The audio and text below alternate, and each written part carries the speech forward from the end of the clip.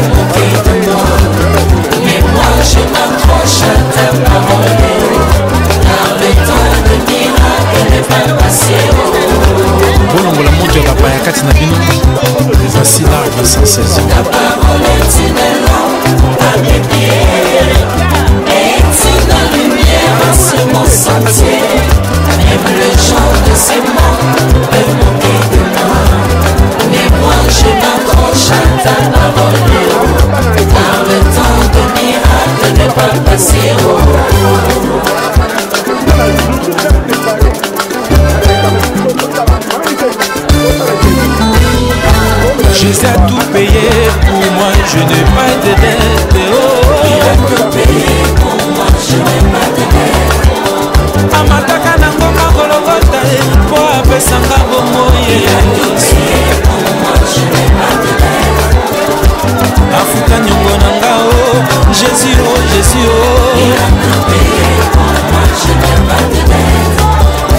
nzambe andima koza esika na nga mosumu kipakoma lisumu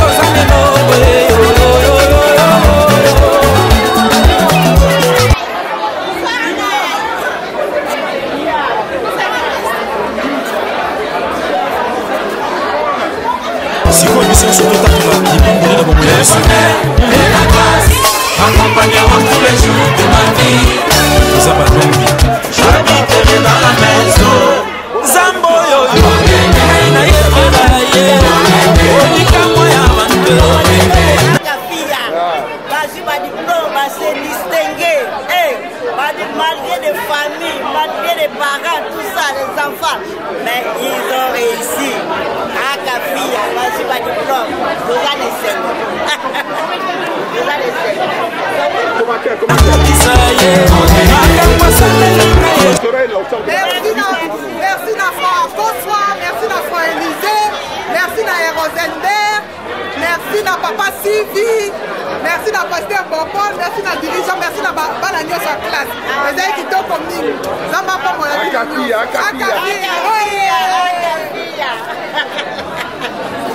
Allez, commentaire dirigeant. Euh, en tout cas, euh, je remercie le Seigneur.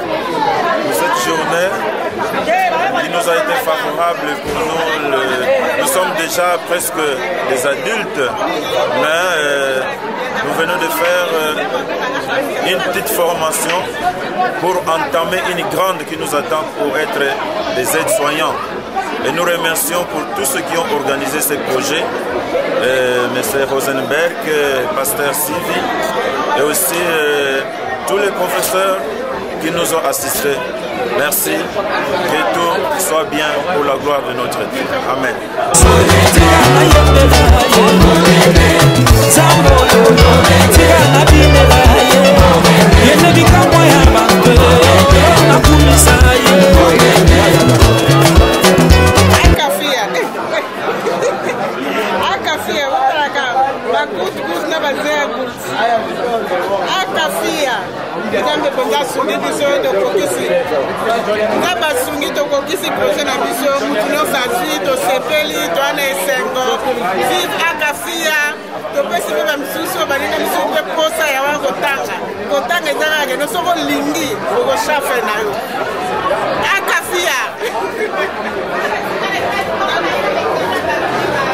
Je veux dire à mes frères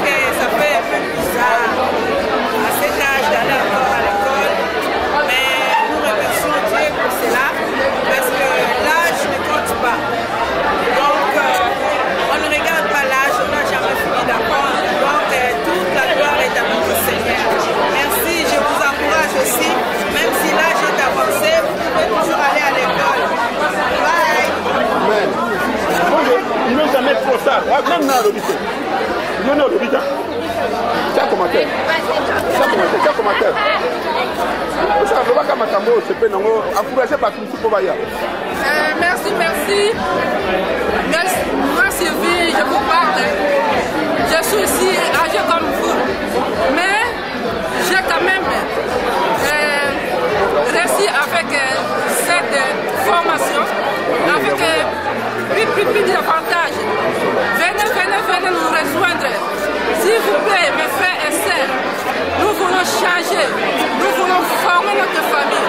Nous voulons chercher des, travail ici. Nous voulons vraiment être des hommes ou des femmes On peut compter sur dans ce pays. Moi, j'ai changé ma vie. Je ne dois plus faire.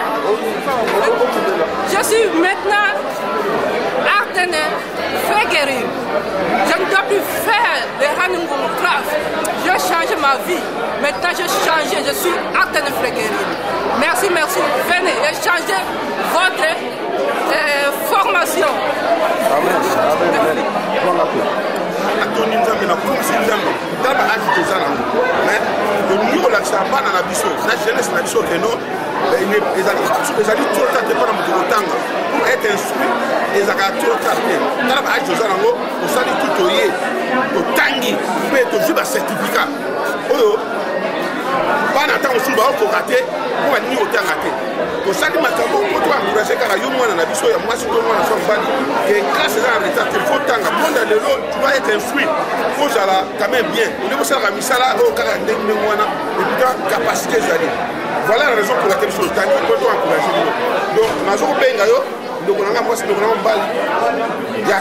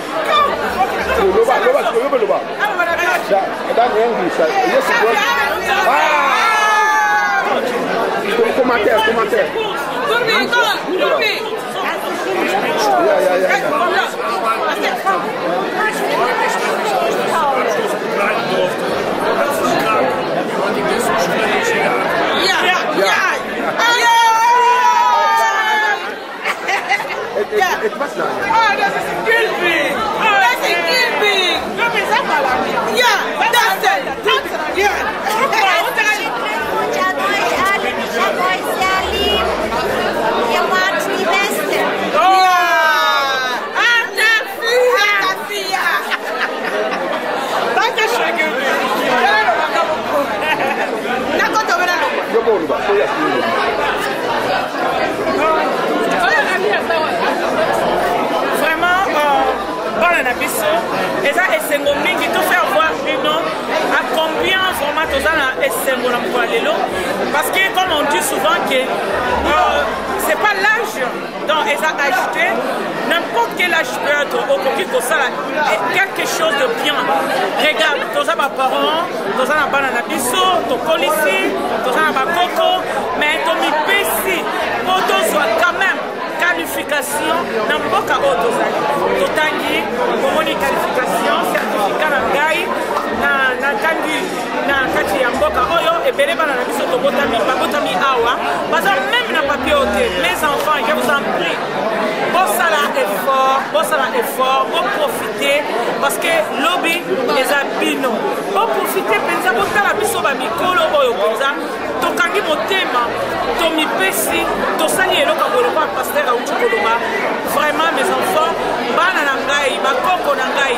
bosala makasi na mboka oyo boprofite mpo na mboka na biso ya lobi eza na maboko na bino je vous aime merci beaucoup que dieu vous bénisse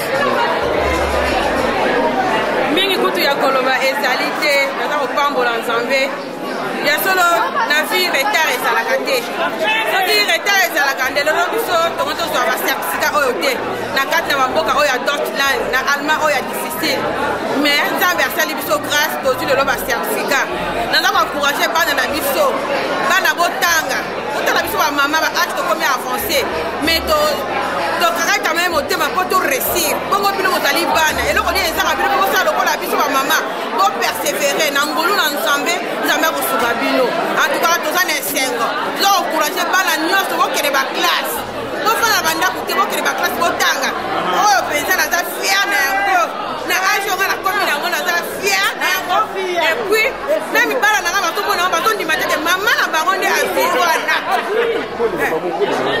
bana na nga mwana na nga mobali yeyo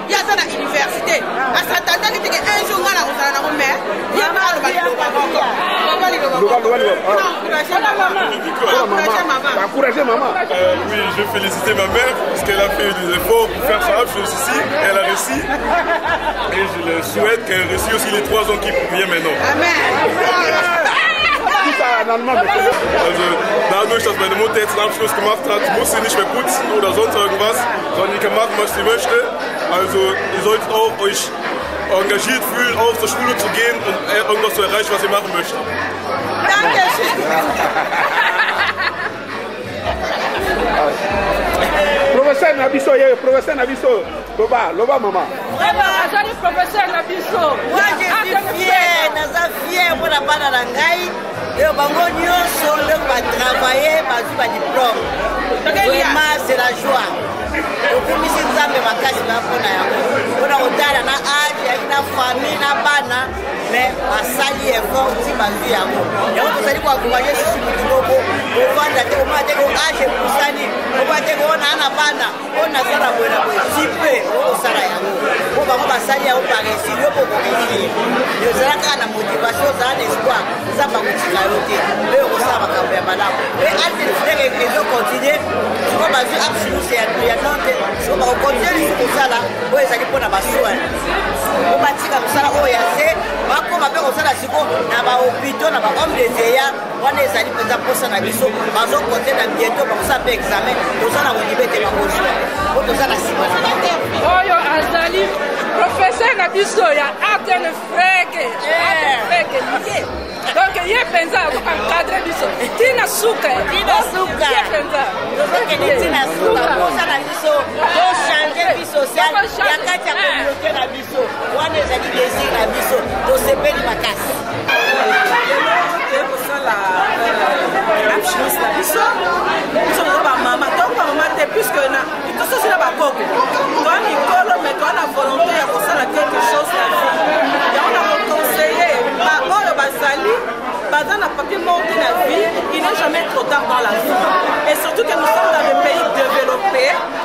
baza kopesa motu opportunité ya kosala vi na ye en tout cas age motu atala age te atala mpe niveau na ye te atala doce te po mosusu toali awa moto azoba doce plus que azali te mais toza koeseye tala lelo toshafe tozwi ba apshi nyonso biso nao de classe sikoyo tokofaita quelque soit eloko ekopesamela biso na alten flege ata pourkoi moi 6 mois une année pourkoi pas traya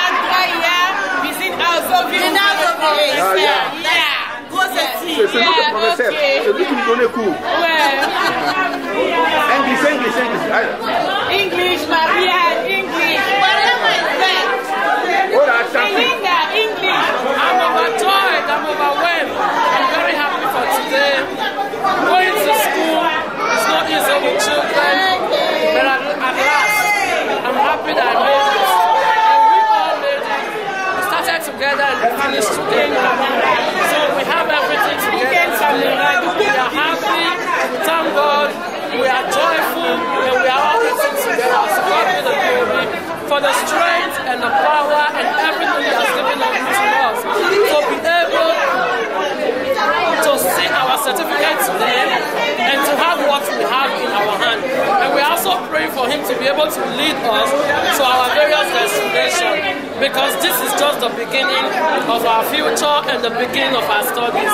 We are also wishing to go further. We are having another exam next week and we are praying and hoping that God have guided us to have this certificate in our hand. also lead us and we have the other next certificate in our hand.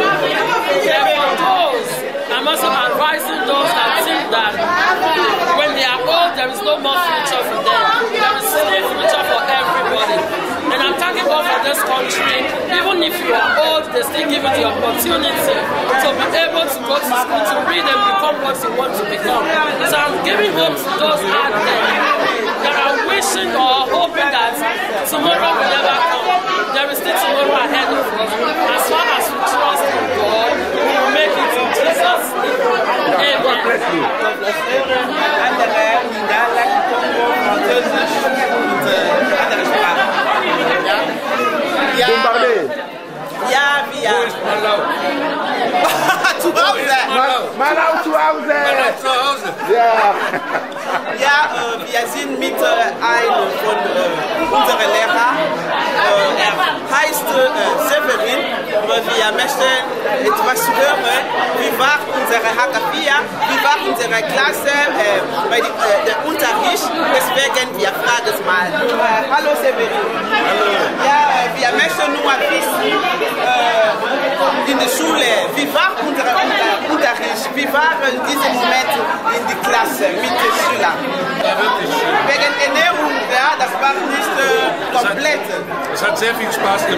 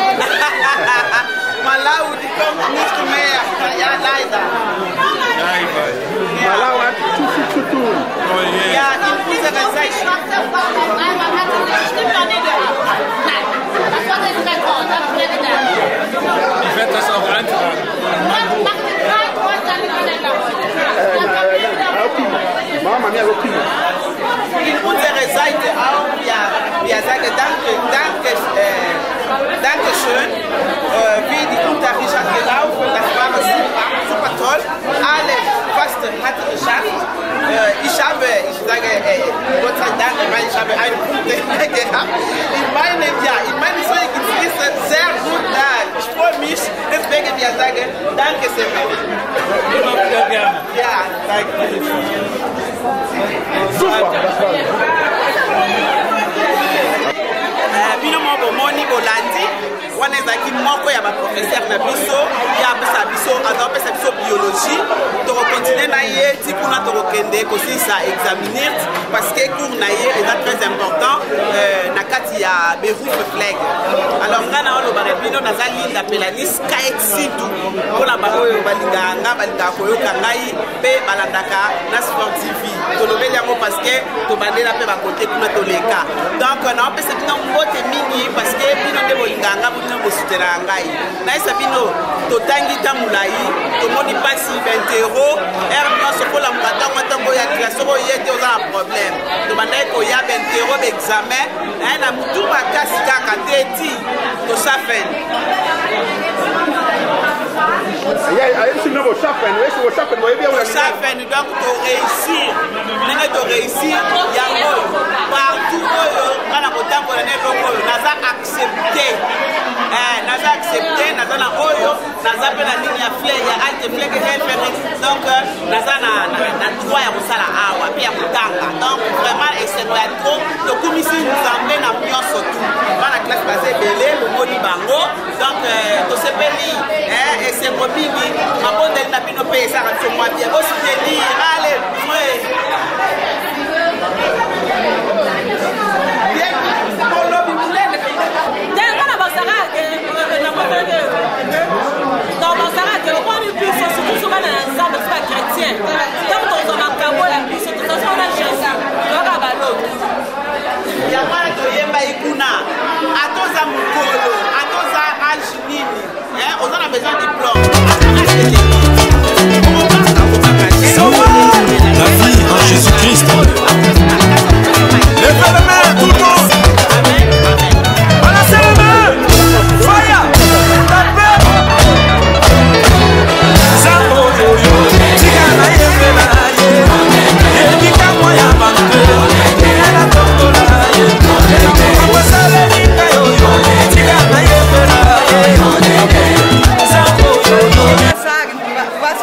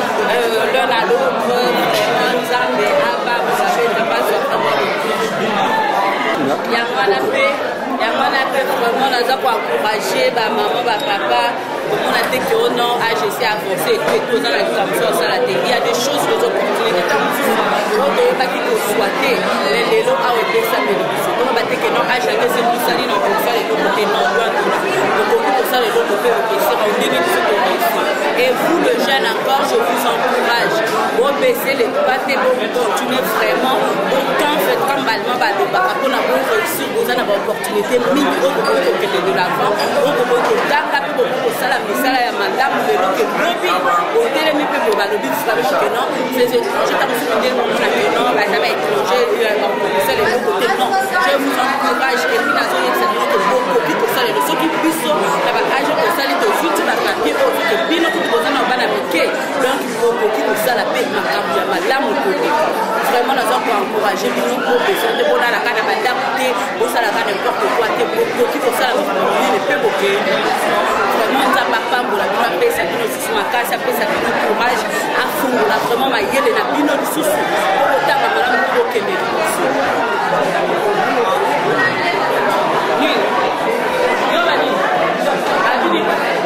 Thank you. nga kama nasepeli mingi susi na ngai ezalaki na mbuko natanga mais occasion ezali kopesamela nga te nayeba mokolo moko nalotaka nazaka na kude kutu nakelema na belgique nakende kotanga mais nalali yango ti baloba na nga te na kotanga na diotilanda vraiment nasepeli po nayebi qu'avec problème na nga oyo donc nyonso efongwami nyonso vraiment efongwami efongwami na mboka na biso nazalaki infirmière nazali na poste na motema kikomoma na kopasi vi na maboye osake natanga nazomona te soki nasali euh, eloko ya kimonganga te namonaka vi nange ozala sens te mais vraiment nasepeli parce que namoni ke nzambe afongoleli ngai avec diplôme oyo epesi nga accès ya kosala classe na ngai ya kimonganga nde nazalaki nango natangelai na congo vraiment avec diplôme oyo epesi nga opportunité fongoli nyonso epuis donc nakomisika nzambe kosusi na nga nzambe amonaki yango mpe akokisi donc nayebi ke aokende nga mosika par la grâce de dieu vraiment nayebi ke osala eswa mingi koleka bango wana basali te baya nayebi ke nzambe mpe akosalela bango nde asaleli biso donc merci nzambe apambola nazali ko encourage motu moko moni biso azali moko ba étudiant na akafia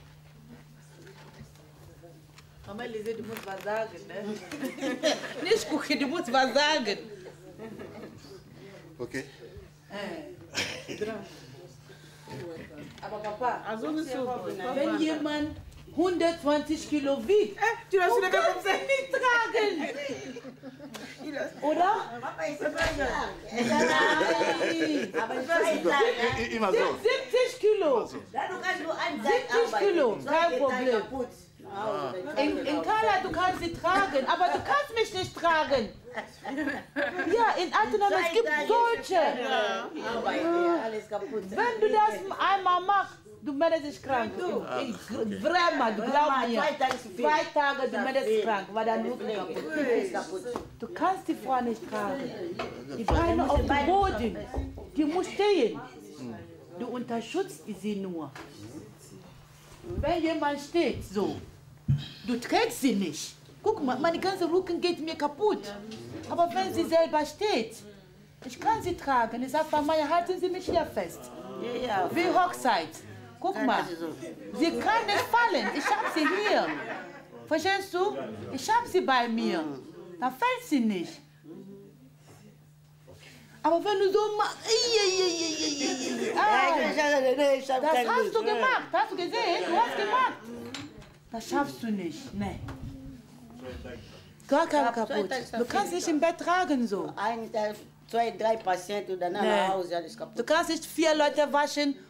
du trägst alles so im Bett. Sofort um 11 Uhr, du gehst nach Hause. Krankenhaus. Ja, du rufst selber an, du gehst. Immer die Leute stehen bleiben. Und die, die nicht stehen können, hol dir einen Kollegen. Sag, ich schaff das nicht. Dann mach mal zu zweit. Nie versuchen allein die Leute. Wenn du nicht so schwer, du lässt sie fallen. Ah, Kopf kaputt. Hüfte kaputt. Ja, vielleicht du denkst, die wiegt 4 Kilo, 60 Kilo, du hebst, ey, eh, 100 Kilo, oh, du lässt sie fallen. Dann hast du Probleme. Deshalb versuch das nicht. Für alle. Mm, ja? Mhm. Aber wir lernen diesen Transfer, wir lernen das intensiv. Ja, wir lernen das.